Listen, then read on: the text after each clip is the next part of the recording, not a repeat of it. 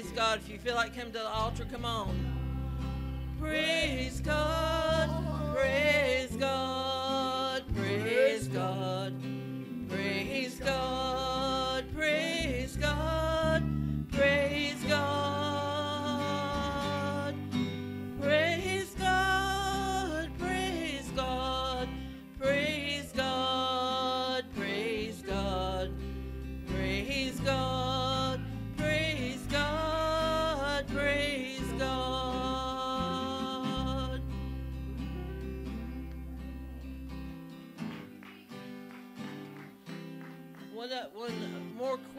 Testimony. I know y'all have seen me walk around my neck stiff like a statue. Well, I, I got some uh, appointments for physical therapy. I went to the first uh, physical, it basically was TENS units and heat and stuff. And I have this little nerve right here that's decided to come alive.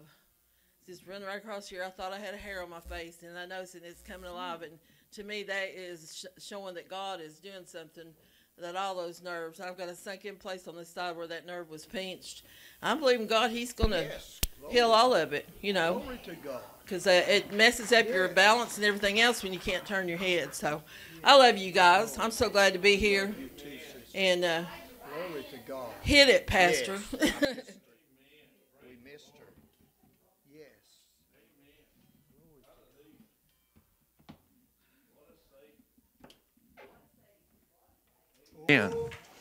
Bethany uh, had uh, come to me this week and said, uh, Pastor, I think I'm ready to give a testimony. So uh, I asked her, All right. Uh, so she's going to give some testimony. You know, it's it's good. It, it's good to see people come into the house of the Lord, and it seems like a few people you know, not everybody that comes into the house, this house of the Lord, uh, I see this happen to, but uh, it happens a lot of times. It's like when they come, they're here for a little while, and they come again, they come again, and then and then all of a sudden, it seems like there's a change and a light goes on. You know, uh, it seems like you know they come with a wall up, you know, because and, and I guarantee you, we mean nobody no harm. We we are here to to demonstrate the power of God to save a wretch like me. Huh? The power of God to save a wretch like me. Amen. So uh, it is good to see someone step out and say, I got something to say for Jesus. I, I, I'm not looking for people to come step out and say, I, I want to say something for this church or that church or this person. I want somebody to step out and say, Jesus has started making a difference in my life. Amen. the gap filler. I told Amen. Yeah, Praise the Lord. Fright. Can you hear me? Mm-hmm. Okay. Um, all right. There's, I guess what's washing over me is gratefulness. Um, and that's what I always try to hold in my heart because in, in everything that we are grateful for, everything that we have, every breath that we take, we would not have if it weren't for what Jesus did for us. Um, I grew up in a very judgmental type church. So um, that's part of the reason I think why it's kind of hard for me to open up, you know, like and talk about it and stuff. But um, here I am, and I'm not in a ditch somewhere, or you know, I I have so much to be grateful for. Each and every one of you, especially you ladies back there. Um, we've been doing Bible study, and it's like I'm mourning the loss of one family, and I have a whole nother one. Through Jesus, all things through Jesus. Um, all right. You this. Oh well, I mean, I don't know how mu- what else I could say, really. Um, I don't know. I just I'm so grateful to be here. Amen. Praise the Lord. Give the Lord a hand clap of praise. Hallelujah. Are you good? I good? feel like I can do so much better, so much All right. more now. Amen. I Praise can- the Lord. I know I'm a healer. So Yeah. Anybody needs, you know, healing? Yeah. Prayer warrior. Amen. Yes. Declarer. Yes. Yeah. Living testaments. Declare the works of God. That's what we need. We Living need people that declare healing. Yes. I mean, not just pray for healing, everyone. declare healing. You are healed by his stripes. Yes. Amen. The go. power's in the in the in the confidence and the profession of our faith in him. There you go. And, and we've got all the demonstrations of the power of God through Jesus Christ, and then beyond through the epistles of uh, Paul and, and, and the disciples. I'm telling you, we have we have so much of we have so much of God at the at our fingertips. I mean, it's available to us. But you know, huh? The oils and the water. Yeah. Know, tools of Christ. Uh, the Bible. Things like that. Yeah. Yeah, take something in hand. Yeah, uh, God created everything, didn't He? Um, uh, Robin came to him and said, uh, "You know, this is in the bulletin." Well, these bulletins were supposed to have been handed out last week, and they were, they weren't one made this week because I told Kathy that it didn't have a date on it. I didn't realize it talked about the Thursday dinner, so there won't be a dinner here Thursday. Uh, it's Thanksgiving. Hope everyone has a has a wonderful Thanksgiving this week, and I think school's going to be out uh, a few days this week, so we want to spend a lot of family time. Uh, nobody will. Well, I don't know where the women will have their Thanksgiving dinner. Now, the church's Thanksgiving and Christmas dinner we've always had on the second Sunday in December. So we'll continue with that tradition. That the um, that so on the second Sunday in December, just look for uh, celebration for Christmas and Thanksgiving. It makes it easier on the ladies uh, not having to cook. Uh, I know that uh, you know families have their traditional Thanksgiving. I think uh, Diane has hers on Thursday. My daughter, uh, my granddaughter, the eight-year-old granddaughter, has food allergies, so she's having their Thanksgiving dinner on Friday. So I got two Thanksgiving dinners to go on Thursday and Friday. I'll have to get another size shirt, I think, when this is over. I've tried to wear these uh, large shirts, but I'm gonna have to start wearing extra large. amen, Jim. Oh yes, amen. Let her have the the microphone. I was blind. Well, I was blind to sin and God saved me. But I was blind, going blind, and God healed me. He Praise the Lord. to heal my eyes so I could read my Bible again. And Uh-huh. because Marty read it to me, but he passed away, and then God took him home, and I didn't have anybody to read the Bible to. so God healed me Mm-hmm. right here. And I couldn't walk for a while. God healed me of that. So I could, I didn't have a way to drive. God furnished me a car to come to church that I wouldn't have to worry about somebody coming and getting me or sitting there not getting to go to church. And I promised God, you just get me away, Lord, to go, and I will go and praise your name every chance I get. And I've been to churches like she said that, that you have to write them a letter to get to testify like this. You couldn't stand up like this and and say anything about what God's done for you. Man doesn't do anything really for me, but what God has them to do or puts on their heart to do, you know, for me or anybody, anyone else. And I just thank God for this little church. And I know one day we're all going to get to see Him. We're all going to get to see Him. Amen. And I Praise just thank Lord. Him for saving me and, and all my friends. And I thank for this church and for your preaching, David, because you has really helped me. I said, you've preached a few sermons, and I said, I think you were just preaching to me because I needed that. Amen. Praise the Lord. Hallelujah. Thank you, Jesus. Hallelujah. Praise the Lord. Amen. When God does something for you and you bottle it up and don't say nothing about it, then sometimes you lose it. I mean, all the things God does for us is for us to testify about, about His goodness and His power. I mean, um, I was lost, and now I'm saved. I was a sinner, and now I'm forgiven. Amen. By the power of His Word, by the power of His voice. You know, on the cross, whenever Jesus was hanging on the cross, suffering and dying, then he, he said one thing that means so much to me that that I can take for myself and claim it. It said, "Father, forgive them, for they know not what they're doing." Amen. Hallelujah. You know, we have a speaking God. You know, uh, it doesn't say that He's a writing God. It says that He's a speaking God. In Genesis, uh, uh, each verse in Genesis talks about, and He said, and He said, "Let there be light." And he said this and said that all the way through the first few verses in, in the book of Genesis. And, and so he's a talking God.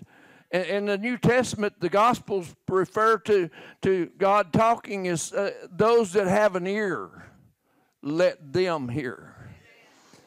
You know, so it's not for everybody uh, uh, to, to hear, but it's those that have an ear to hear huh?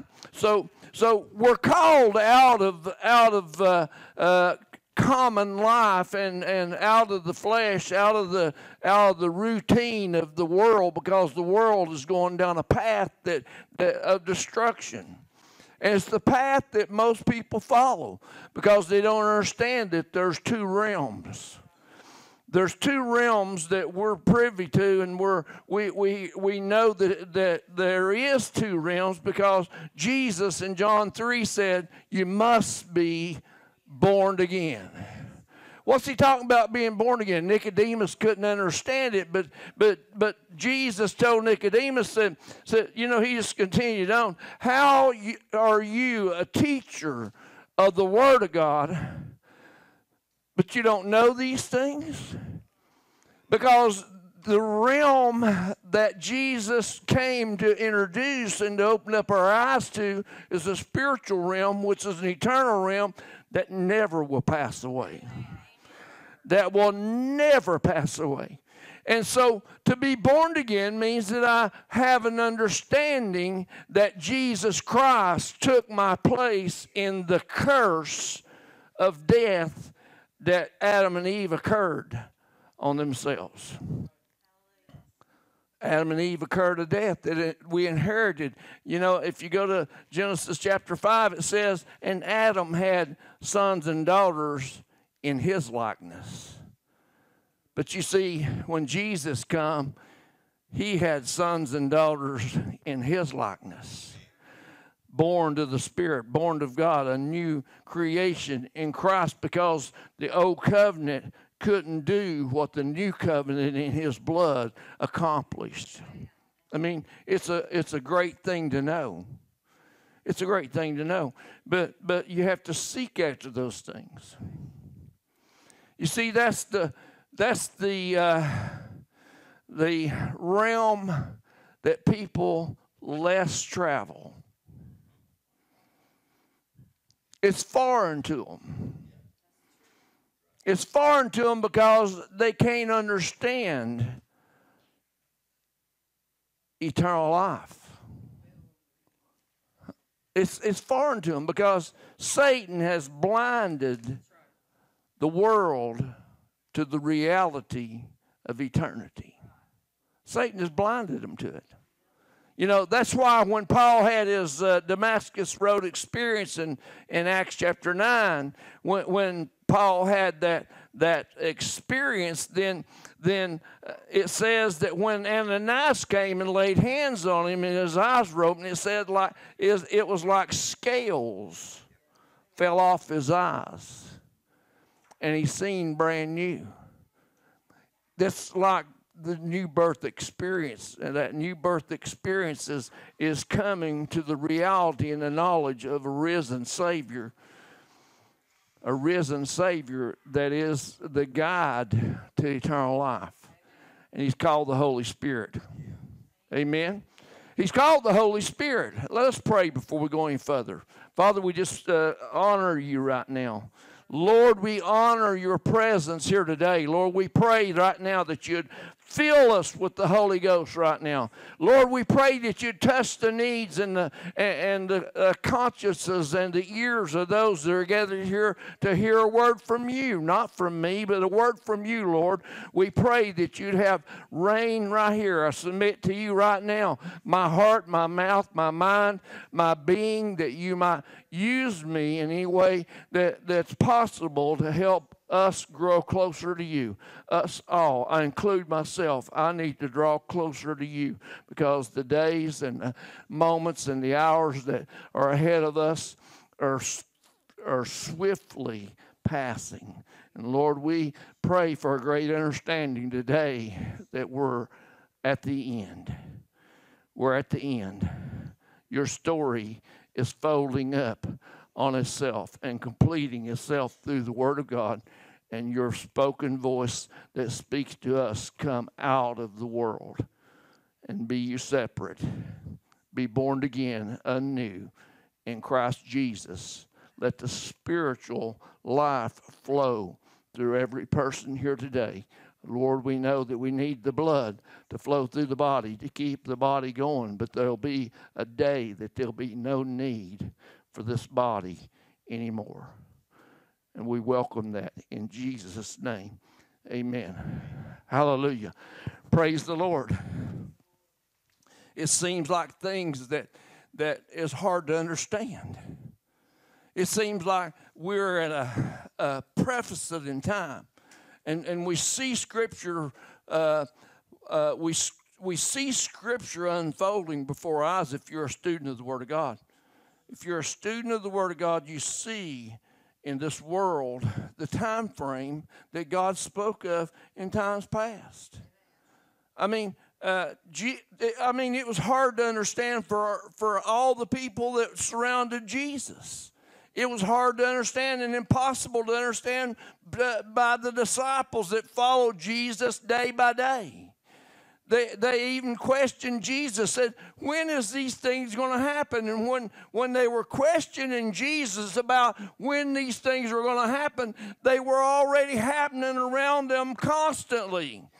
They were seeing Jesus when John sent uh, his disciple to Jesus to see if he was the one. Jesus said, Tell John that eyes are being opened, the dead is being raised. And so he, he, he even John being anointed of God. I mean, he was born of a man and woman, Elizabeth and Zachariah. But but when Jesus, when Mary conceived uh, Jesus, and and she went to to to see Elizabeth, the cousin, and and they came near to each other, the baby within Elizabeth, John leapt in her not even being born, leaped in her belly, in her womb, uh, at the presence uh, of Jesus, just the seed. Hallelujah. the Word of God is sure. The Word of God is sure. But it's hard to understand if you only use eyes that we see through early in the in the 19th century early then there was a guy named uh, isaac newton. He was one of the, the, the brainstorms of the time that he lived in isaac newton. And he said he, he was reading and studying uh, daniel chapter 12 verse 4 and and let me tell you what daniel chapter 4 uh, uh chapter 12 verse 4 says. It says uh, but thou, read it, uh, Carol.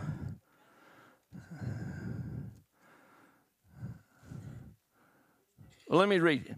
But thou, O Daniel, shut up the words and seal the book.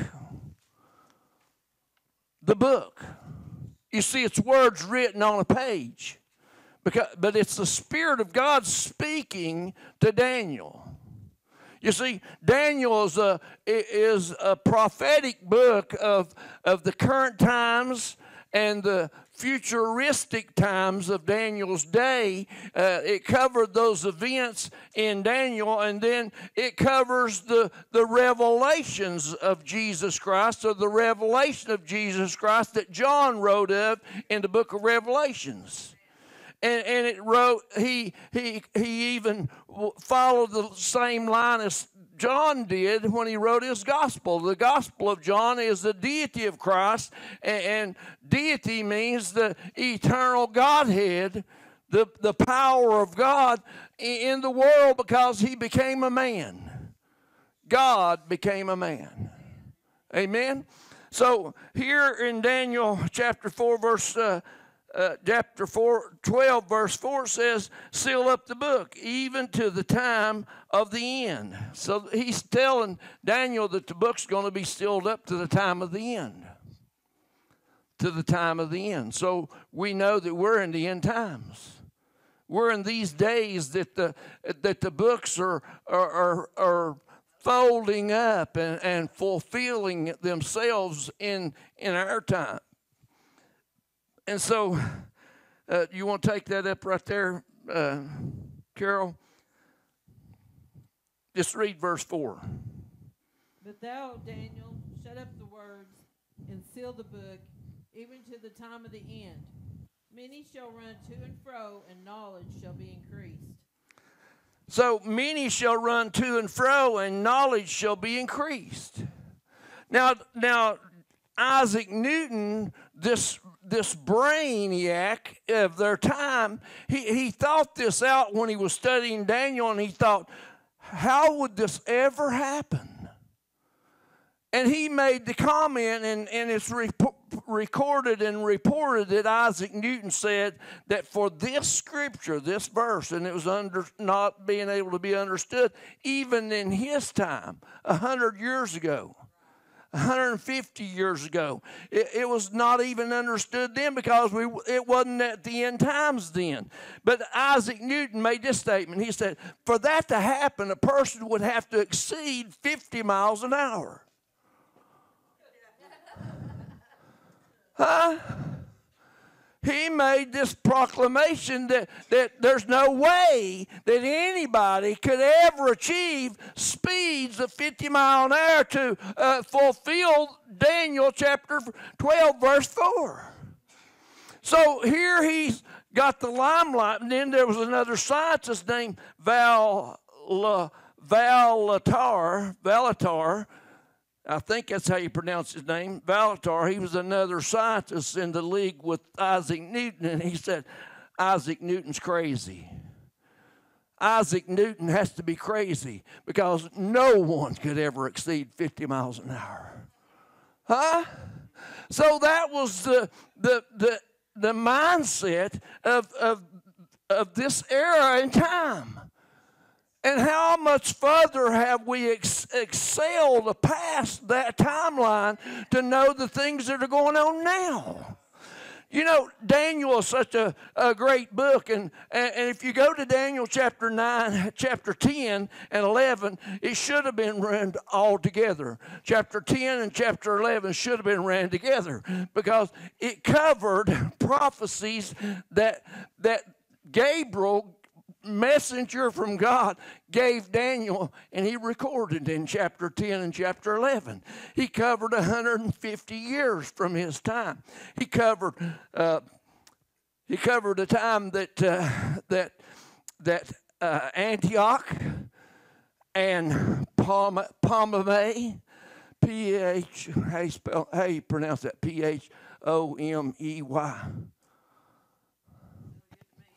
Okay, he was one of the generals that followed. He was one of the generals that followed uh, Alexander the Great.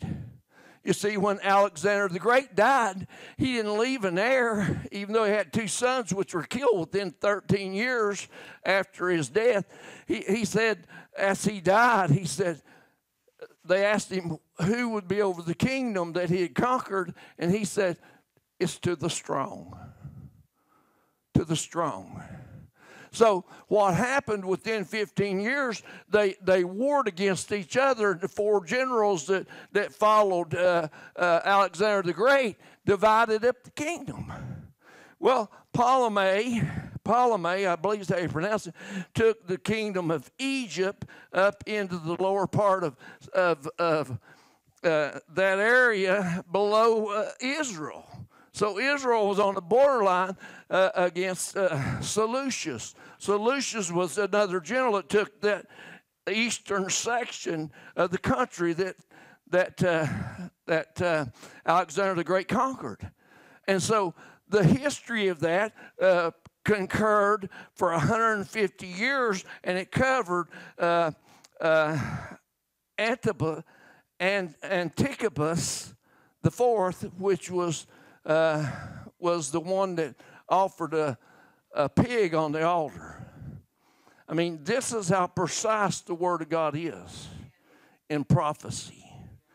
And this Antipas that came along, the fourth, decided that he was going to take over uh, the area uh, of Egypt and everything. And, and so when, when he couldn't do it, when he saw the ships the, of, uh, of uh, actually the word means the Roman Empire coming uh, to the Mediterranean Sea, he knew he couldn't go into Egypt because they were coming into there. So he went back and, and overthrew the, the, the government of Israel. That's what spurred the uh, Maccabee conflict. And so that covered for 150 years of history. This is history that that Daniel talked about, and so it was so precise. It even covered. It even covered uh, uh, one person that went into Egypt and married a ten-year-old kid was uh, Cleopatra. That's the history of it. She was uh, sent down and she married uh, the, the, the heir because, I mean, it's a messed up, I mean, soap opera. I mean, you ought to just set it down in front of you, try to reason it out, but it's, it's so precise. And so I tell you this to tell you how precise God is in these days that we're living in now. And so we see the great falling away. We see the things happening that that that you know are going to happen in these closing uh, days before the tribulation begins. We see them. You see, and, and getting back to the Gospels, go to Luke uh, 19 with me getting back to the Gospels, Jesus ran into these same conversations with the disciples and those that followed him in his day 2,000 years ago. And so verse 19, verse 10. Read that, Carol. Chapter 19, verse 10. Chapter 19, verse 10. For the Son of for the Son of Man is come to seek and to save that which was lost. So Jesus here uh, in in 19 of, of Luke, in chapter 19 of Luke, says in verse 10 that, that Jesus is telling those that are following him, he's come into the world to seek and save those that are lost.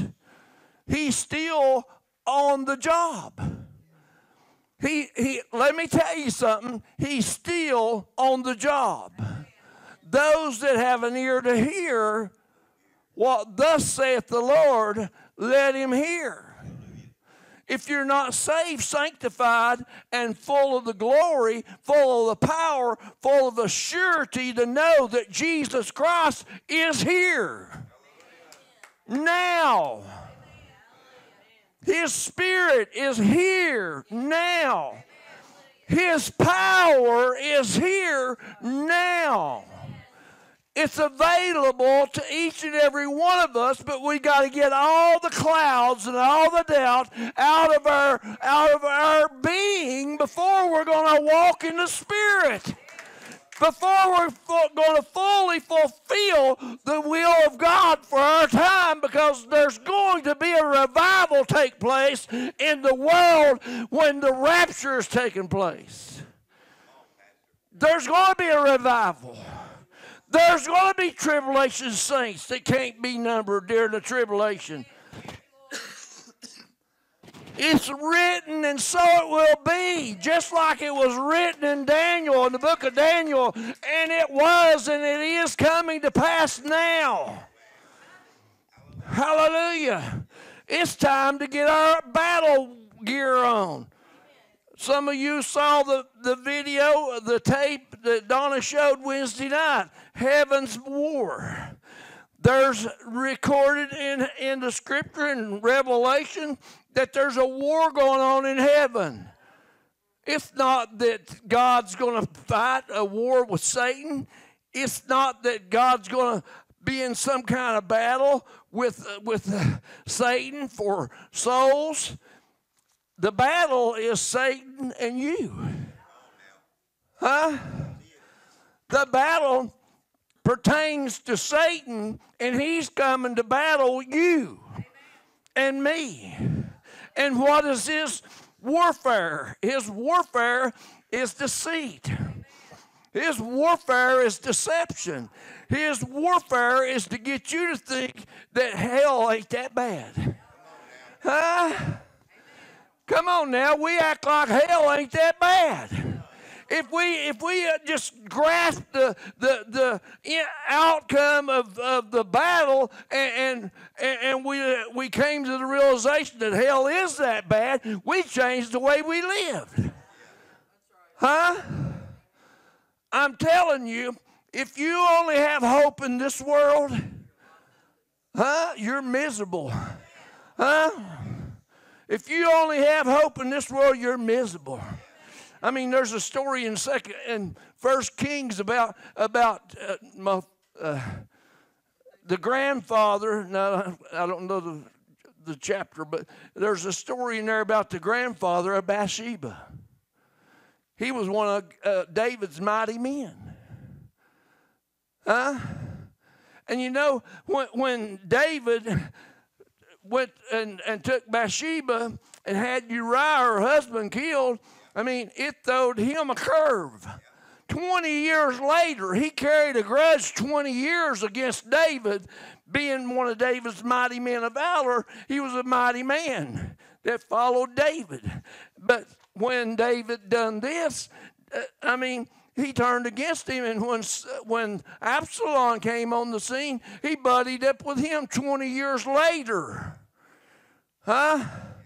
And so he, he gave Absalom advice, and he asked Absalom, said, Give me 12,000 men of war, and I'll go against David. And so Absalom didn't take his advice. Absalom didn't take his advice. I can't think of how you pronounce his name, but the story's in in in uh, First Kings. Uh, or the end of Second Samuel one. But but and I just the story occurred to me, and that's the reason I started talking about it because I want to be led of the Spirit. Huh? So what happened to him when when Absalom didn't take his advice? You know what he done? He got on his animal and rode back to his house, and he hung himself. He hung himself because it wasn't the way he wanted it to be. A lot of times we we fall in the ditch with Satan because things don't work out the way we want them to work out. Huh? God has a plan, and God's not going to deviate from His plan, and it and it it, it doesn't incorporate your plan. It's his, it's his way. He's the only way. He's the only name under heaven that man can be saved by. And it's his way because he knows best. He sees the whole picture all the time. He sees the whole picture all the time. Not only sees it, he's involved in it not only sees he's involved in it. So here in here in uh, in Luke chapter 19, you hear uh, Jesus make this statement to to those that are following him, uh, and and he says, "The Son of Man has come, but to seek and save that which is, was lost." Notice it doesn't say that which is lost. Huh? It says was lost. So when, when they didn't receive that, just like some of you not receiving what I'm saying today, some of you are not receiving it, but, but the Word of God's good. Uh, the Word of God is what can, can break the yokes and save the soul. Huh? So here uh, it goes on, Carol, in verse 11 to 13. And as they and as they heard these things, he added and spake a parable because he was nigh to Jerusalem, and because they thought they thought that the kingdom of God should immediately appear. Okay, said, wait a minute. And they thought the kingdom of God should immediately appear. And it was there. Jesus told them time and time again the kingdom of heaven is at hand. Let me tell you again the kingdom of heaven is at hand the kingdom of heaven. And why he said at hand, he said it because it's just a hand reach out. You can, you can get hold of it right here. The kingdom of heaven is at hand. If you want it, the kingdom of heaven is at hand. Why wouldn't you want it? You know, there was a scene that was the it was the turning point of that movie that Donna showed. There was a scene and and this gentleman that the, the spiritual warfare was going on for his soul and his destiny was was saying, Why didn't God do something? Why ain't God done something? You mean this loving God allows children to die of cancer and all this stuff? And, and so he was accusing God to Gabriel. And as he was saying, Why didn't God do something? Why ain't God going to do something? This loving God, and as he was backing up, as he was backing up in the scene, he backed right into the cross. And when he bumped into the cross backwards, he, he backed into the cross like this. And when his hand felt back to what happened, he, he saw the cross and he pulled his hand back and the blood of Jesus that ran down the cross was on his hand. Huh? And he said, Why wouldn't humanity love Jesus? Why wouldn't humanity love Jesus? Because Jesus changed the game. Jesus opened the books back up. And, and, and the, thing about it is, he opened the books back up in a way we wouldn't think. Because they question what's going on, Jesus. Why? They wasn't there when Jesus was born, but they heard the testimony of Mary, Mother Mary. Huh? They heard the testimony of how Gabriel came. I mean, uh, Gabriel an angel, Gabriel, came into the realm that Mary was in 2,000 years ago in a town called Nazareth, a lowly place like Nazareth. And the thing about it is, that blows my mind is, he came lowly. the lowest in a manger. I mean, a manger's where animals feed. Huh? You see, a manger's where animals feed. You know what the world thinks about us? The elite of the world think about us. They call us animals. Huh? Come on now, that's what they call us animals. You know, 7 billion people, 1% of 7 billion people own all the wealth of the world. The average income of 7 billion people, the average income, and this is astounding being an American, is $6 a day. That's the, the average income for the 7 billion people that 1% of that number controls the economy of the world. You see, they got a plan. They got a plan. But you see, we've had a plan. Huh? We've had a plan from the get go. Huh? I mean, the plan was that that that uh, December second, nineteen fifty one, that the doctor would be spanking me on the bottom, and I'd be ho- hollering, ah! Huh? Woo! Glory! Huh? From the time I was born, he had me on his mind. Before I was born, he knew that my grandpa was going to have a, a thing for my grandma. Huh? Hallelujah. Praise the Lord. And he's got a plan for my end. Not only my beginning, he's got a plan for my end. And you know what? I trust him with it. That's what you have to do is you have to trust him with your end because he began your beginning. what a God. What a God reaches over the boundaries of eternity and comes right where I am. Hallelujah. What a God. Did you read any further? Go ahead. No.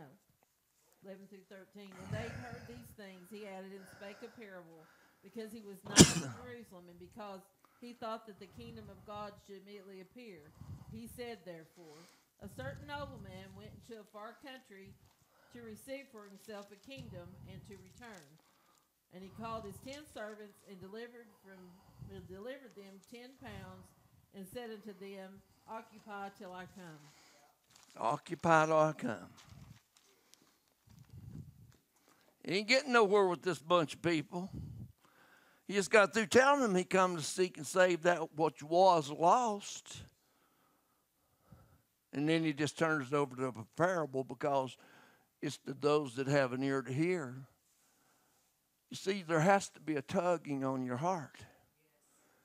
The voice of God is calling your name. The vo- God's presence right here, right now. Those that are are not hearing the Spirit of the Lord speaking here, and, and His Spirit speaking here today is telling you how much He loves you. His Spirit is telling you how much that guy that was accusing God that backed into the cross and finally realized that's how much you love me. Wow. What am I going to do with that? But, no, not but. Well, no, not well. Why? Not why. It had to be.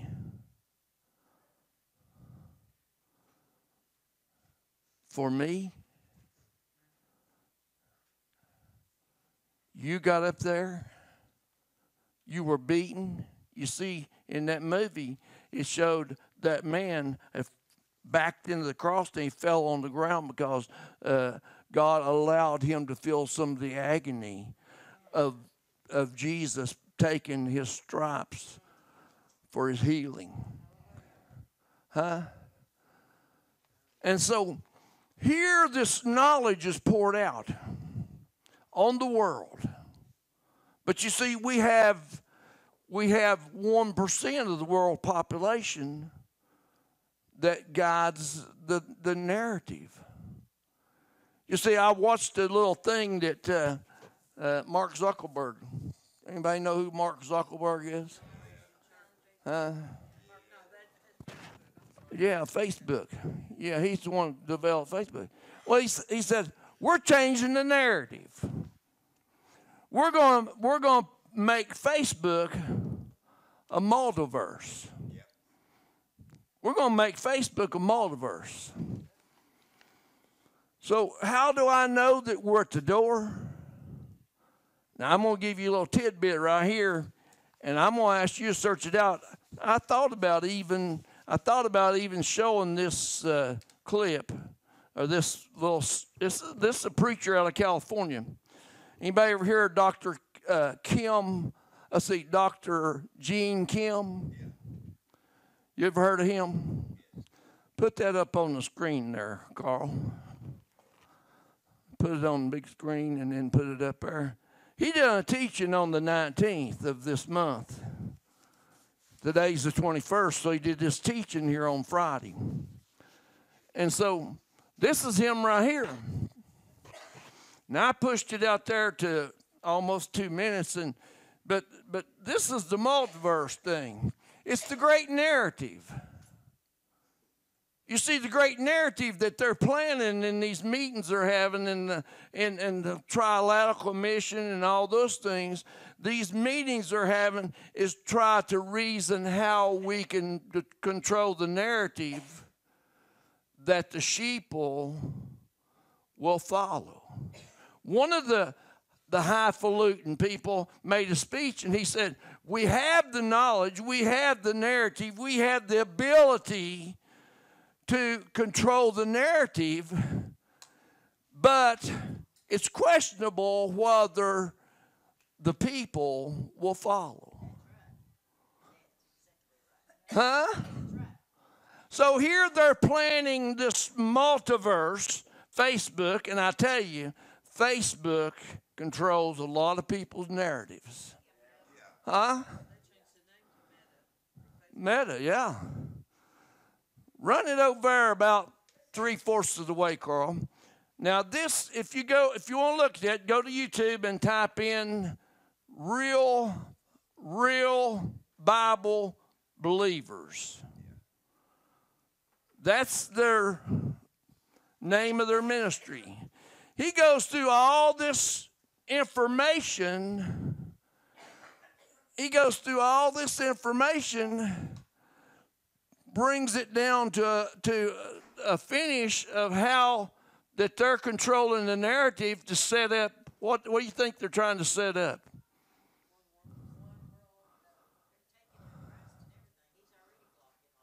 Yeah.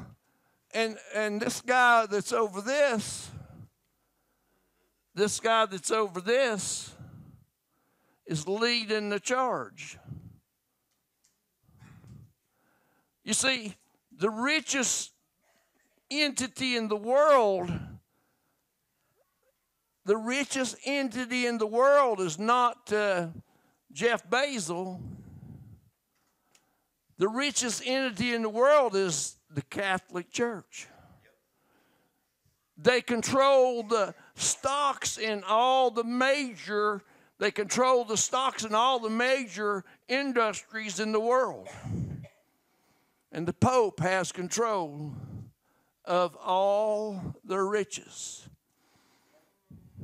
But the Pope ain't the Pope's not the Antichrist. Pope's not the Antichrist. But you see, I, I you know, if you want to know, if and, and I hope you want to know, because in warfare, you, you know, like I told you a while ago, the war's not against God. The war, the war is against you. And, and so, if you're going to fight a battle and you don't know your enemy and his strengths, then you're going to lose. You got to know his tactics, huh? But you're going to lose anyway unless you hear the voice of God. You see, I was uh, talking, I was talking and listening to the guy, and he said, he said, You know, I remember when I was a little kid, he said, I remember my daddy taking me fishing. Anybody ever been fishing with their daddy? Huh? Here's what he said. He said, We'd get the boat hooked up and we'd go out to the lake to go fishing. We'd be out there early in the morning. We'd launch the boat. And he said, I remember my daddy always. He'd go out in the lake, and, and, and when we'd get ready to start fishing, he'd stick his finger in his mouth.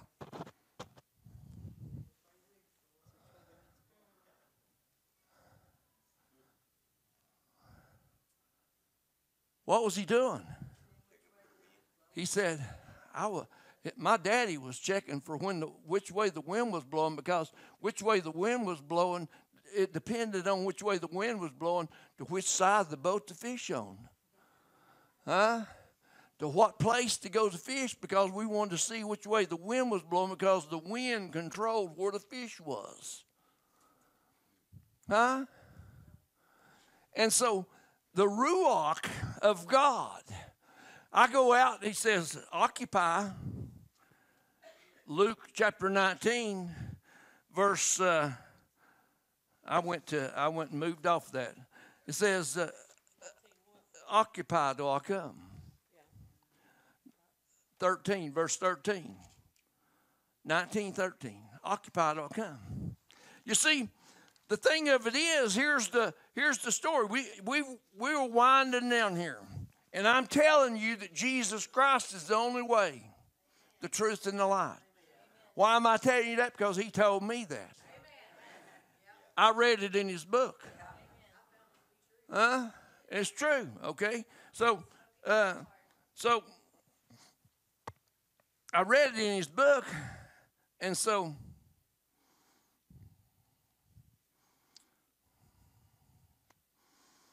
Mm. Help this old fool. I lost my train of thought. I tell you. Occupy till he comes. Okay?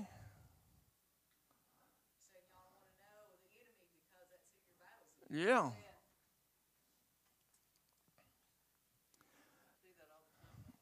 All right, we're well, I'm I'm getting it. Go to go to John chapter six. Occupy means labor, work, do whatever. I mean, build houses, speak, set up dinners, have plan your Thanksgiving, Christmas dinner, all that. Go ahead and live life. Let me see where to start in six.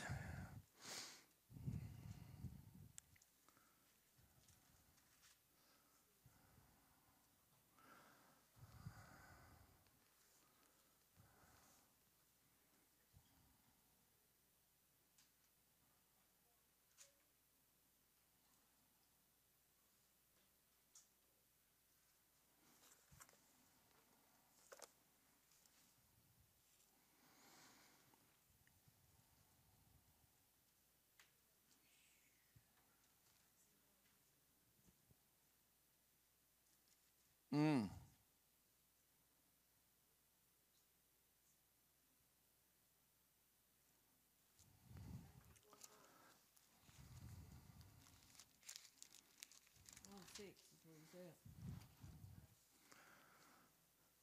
All right, John 6. Okay, we're going to start at verse. Uh,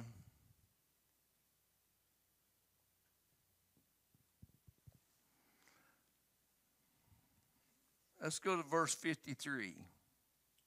Just start reading at verse 53. Then Jesus said unto them, Verily, verily, I say unto you, except ye eat the flesh of the Son of Man and drink his blood, you have Wait a minute. life in you. Hold it, hold it. So, what's he talking about here?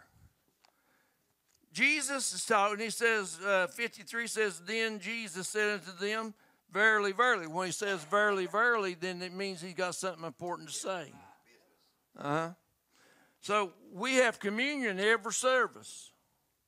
We have communion every service. And, and so, uh, communion, he said at the Last Supper, he said, Do this in remembrance of me often. You know, Luke, I mean, uh, First Corinthians 11 talks about taking the communion worthily because they broke bread from house to house. So, taking communion. So, this is a spiritual application for a physical thing that God is saying. So, in order to understand this, you have to understand that there's two realms that we're abiding in. Okay? So, he's saying, I just wanted to explain that right there. Go to 54. Whoso eateth my flesh and drinketh my blood hath eternal life, and I will raise him up at the last day. For my flesh is meat indeed, and my blood is drink indeed. He that eateth my flesh and drinketh my blood dwelleth in me, and I in him. And the living Father has sent me, and I live by the Father, so that so he that eateth me, even he shall live by me. This is that bread which came down from heaven. All right, what bread is he talking about? He's talking about the manna that fell down from heaven in in in the Exodus. So when you know there weren't any food when they were wandering in the wilderness. You can have your plans, but it's better to wander with God. I don't know what he's going to do next, but I'm all on board. Huh? Go ahead. This is the bread which came down from heaven, not as your fathers did eat manna and are dead. He that eateth of this bread shall live forever. Hallelujah. Go on.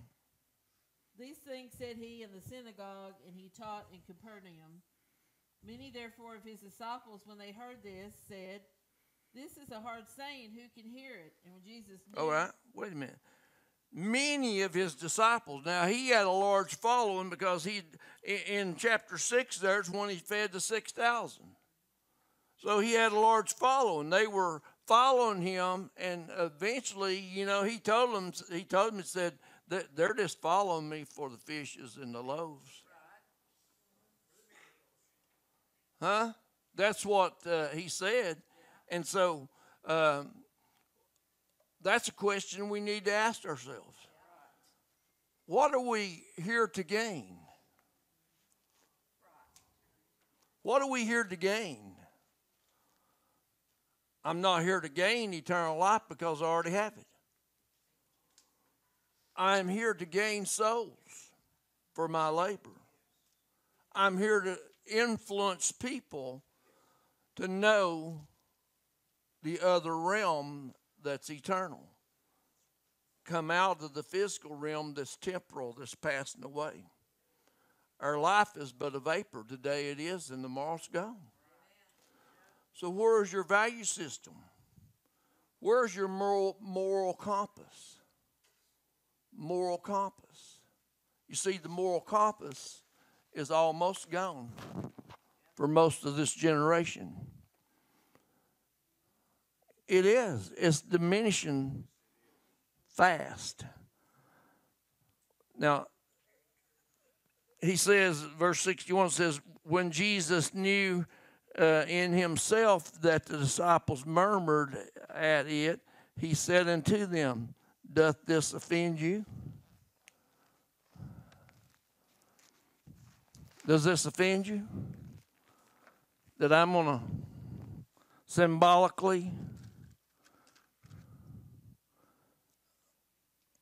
and joyfully take an unleavened piece of bread and I'm going to ask for God to forgive me of my even secret sins. Nobody knows that Him and me. Even He knows things that I don't even recall. That mean that I'm going to take this as a representation of his body, and I'm going to put it in my mouth in remembrance that on that cross, his body was given for me. Does it mean that the blood that ran down that cross, that ran down that cross, you know what? This is one of the symbolic symbols of a, a Jewish wedding. The the father makes the arrangements for a, a Jewish wedding, and the husband or the the husbandman and the bride write out a, co- a covenant a, a covenant with one another, and they take a little cup of wine or juice, and they drink it, and they say this. They say this to each other: "I will not drink of this vine again until we're in our each other's presence again." What Jesus say at the Lord's Supper? He wasn't going to drink of the vine again until they were in his presence. So it was a marriage thing. And how I mean, he identifies himself as the as the husbandman in uh, Matthew chapter nine. Matthew chapter nine, he they say, uh, what, uh, why do your disciples eat and drink, and John's disciples didn't? He said, how can the bride restrain when the bridegroom is in her presence? So he identifies himself as the bridegroom the bridegroom is the one that's in uh, Matthew 25, verse 1 through 10, at the, the five wise and five foolish virgins. So here he he's giving so much information that, that he came and he did what he had to do that we might have life everlasting abundantly. So go ahead, Carol. Does this offend you? What and if you shall see the Son of Man ascend up where he was before? It is the Spirit that quickens. The flesh prof- profits nothing. The words that I speak unto you, they are spirit and they are life. But there are some of you that believe not. For Jesus knew from the beginning who they were that believed not, and who should betray him. And he said, Therefore said I unto you that no man can come unto me except it were given unto him my Father. Okay. You tracked with me there? He's talking about being in me, eating his flesh and his drinking his blood. He's talking about being in me. He's just fed the 6,000 in the first part of chapter 6. So he's talking to the ones that are following him, and, and they're thinking and they're reasoning in their minds. I mean, there ain't no way nobody can achieve 50 miles an hour. Huh? That's what they're thinking. There's no way that anybody can achieve what you're saying, Lord. We're not going to eat your flesh and drink your blood. And so they dropped the ball right there. They dropped the ball right there. And I want you to notice the next verse. You know what the next verse is? You know what the next verse is? John 6, 6, 6. The mark of the beast. The next verse is John 6, 6, 6. Do you know that's in the Bible? John 6, 6, 6. And some of you will leave here today and they will do this. Verse 66 says, From that time, from that time, many of his disciples, I mean, they were in there. They were, to be a disciple, you have to be, you have to follow in the footsteps. You have to eat the dust of the master. Huh? We went through that teaching once before. How that a disciple of a, of a of a teacher would would forget leave everything and they'd be at the whim of the teacher and they'd follow in the dust right behind him they'd follow him in the dust and everything they do they were his servant and so that's what the what it meant. They were following him. They were helping him feed. They just helped him feed six, ten, six. They just helped him feed uh, six thousand people, five thousand people, plus women and children. It says, from that time, many of them, many of his disciples, went back and walked no more with him. Walked no more with him. Will you stand with me?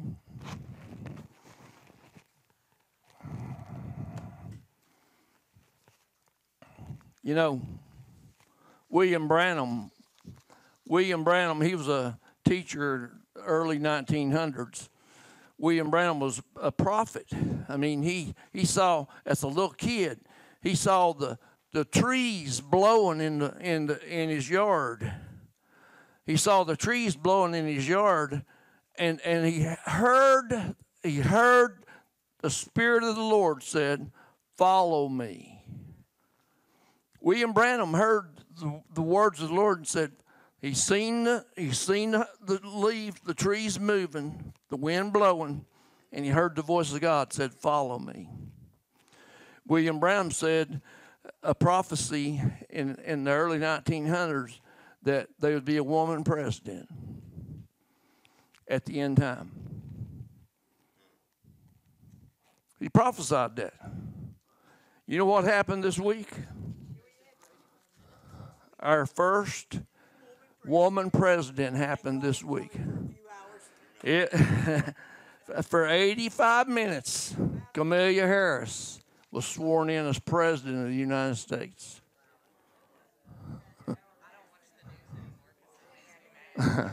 it's in, I mean, it's in this daily caller. I'm telling you, we're in the last days, in the last moments.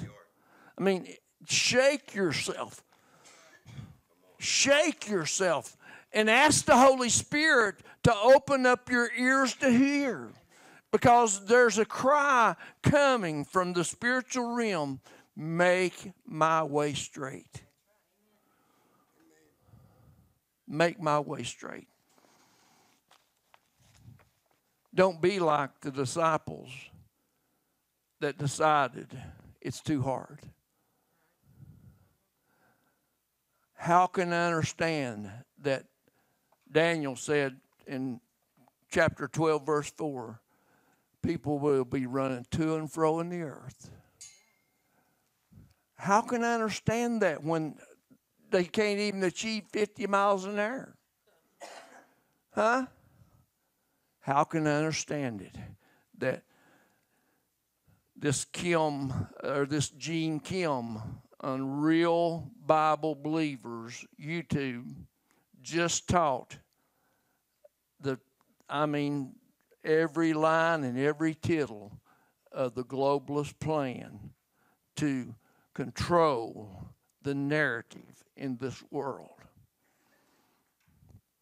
But you see, you, yeah, yeah, we have to stand up as individuals they're going to try to control the narrative of, of the world. Are you of this world? No. Are you of this world? Then come out of unbelief. Come out of unbelief because this stuff is happening, it's going to happen, and we're at the precipice. You know that on the 18th and 19th of this month, the longest eclipse of the moon happened. You know how many hours it was? It was three and a half hours. What's the three and a half? What's three and a half? Three and a half years of tribulation. Daniel's uh, nine. Daniel nine. Come on now, we're being, we're seeing Bible right here. We're seeing the written word, but you need to hear the hear the voice of God. You need to hear the voice of God. William Branham saw it, saw the wind, he heard the voice of God. William Branham would go into church services. I mean, the rooms would be full, and he'd just bide time. He'd bide time talking about the Bible. Then all of a sudden, all of a sudden, he said, the angel showed up. And when the angel showed up, they lined up. They came up and he told them everything about them healed people, move of God like never before. I mean, probably has been before, but in known history.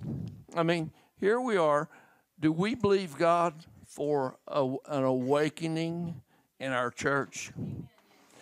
You know, when we started out the service today at one o'clock, I mean, I was wondering if we were going to have a, an awakening.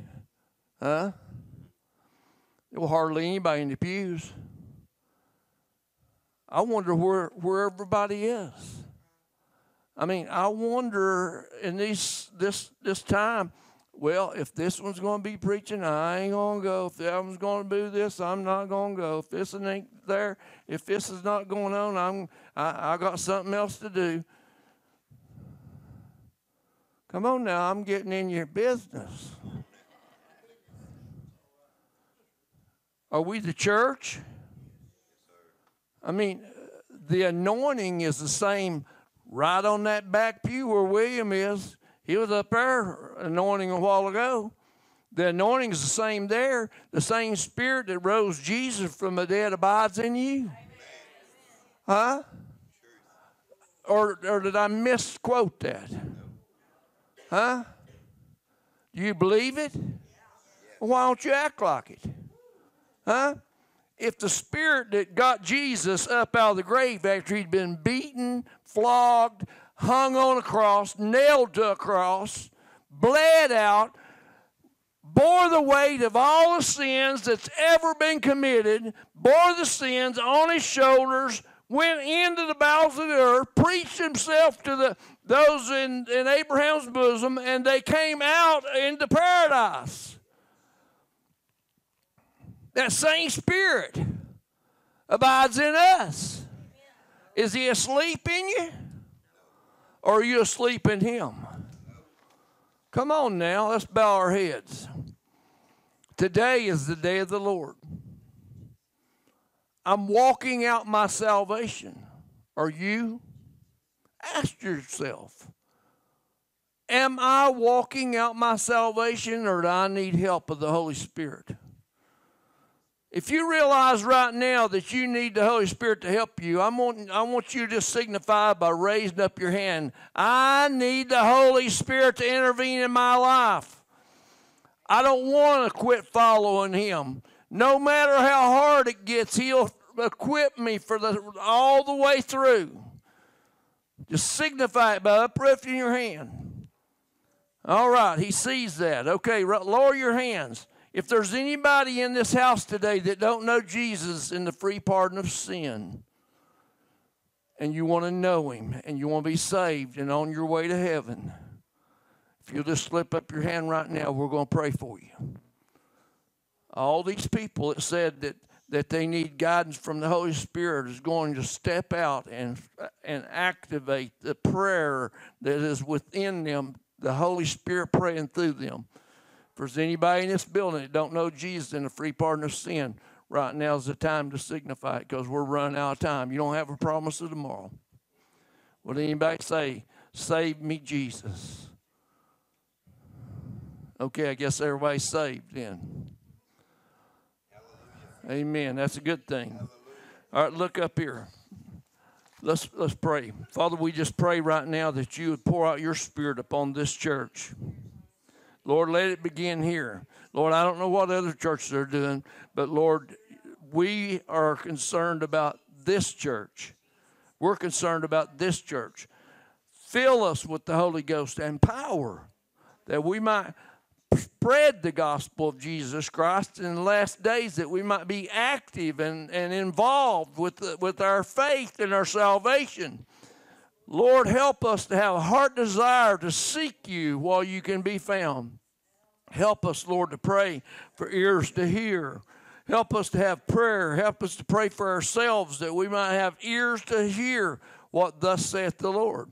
Help us to see and gauge where the Spirit's blowing and which way we should walk and walk in it, dear Lord. We pray that you'd minister to, to us the power that we, we would have the authority by the power of the Holy Spirit to declare a thing, to declare healings over the sick. Lord, we pray for Samantha right now as she's getting ready to go to Florida because her daughter, 12 year old daughter, has bone cancer and is going to have surgery tomorrow.